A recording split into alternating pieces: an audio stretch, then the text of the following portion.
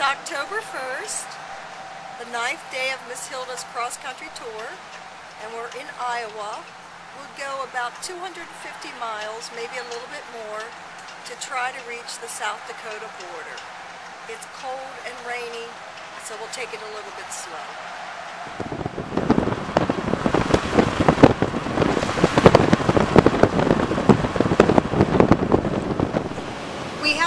Over for about 20 minutes in order to let this big thunderstorm pass. It, the rain was coming down, it was just a deluge. And I have to say that there's nothing that compares with the sound of thunder on the prairie. It was the loudest thunder I've ever seen, I've ever heard, and it was just absolutely magnificent and awesome.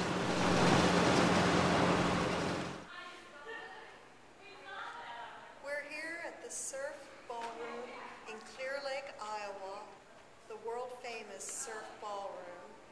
And I'm standing on stage, the actual stage that Buddy Holly played his last gig. And we're here to celebrate the 50th anniversary year of Buddy Holly's passing. This is the stage that the Big Bopper, Ritchie Valens, Buddy Holly, and Waylon Jennings played. Of course, Waylon Jennings didn't take that plane ride, but a lot of other people died that tragic night.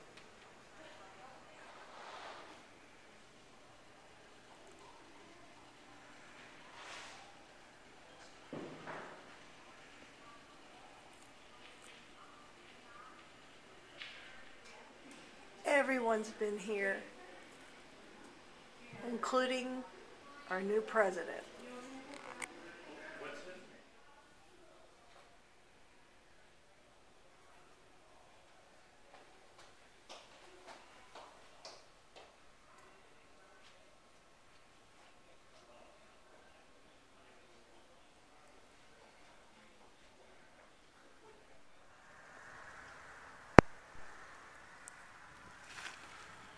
It feels like we've been driving forever through Iowa, but Miss Hilda finally made it to the great state of Minnesota.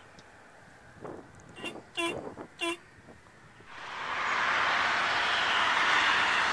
we've reached South Dakota.